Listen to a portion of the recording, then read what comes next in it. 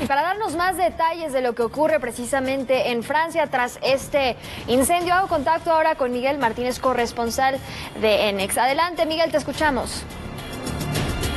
Hola, ¿qué tal? Muy buenas noches. Como podrán ver, me encuentro en la explanada principal de la Catedral de Notre Dame, totalmente vacía y totalmente apagada. Bueno, estamos en un perímetro de seguridad donde la prensa puede estar a estos momentos.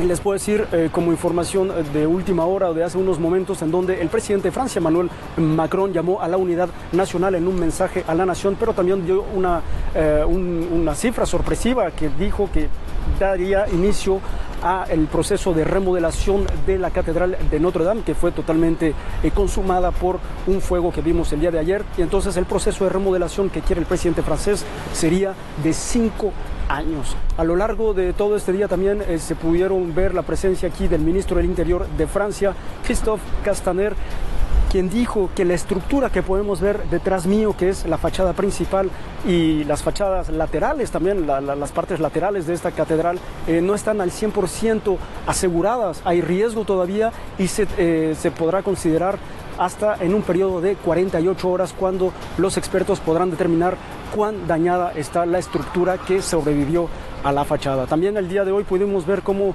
eh, expertos retiraban una virgen que se encontraba del lado lateral derecho de la catedral, eh, esta imagen emblemática donde se lleva a cabo este proceso eh, de remodelación y también de protección al monumento de la Catedral de Notre Dame. Y finalmente les puedo decir también que las fundaciones han empezado su trabajo el día de hoy. La Fundación del Patrimonio, una fundación pública francesa, ha recaudado un poco más de 700 mil euros y contando, sin contar también con las grandes empresas o eh, también el esposo de la actriz mexicana Salma Hayek que ha dicho que va a desbloquear de su fundación eh, más de 100 millones de euros.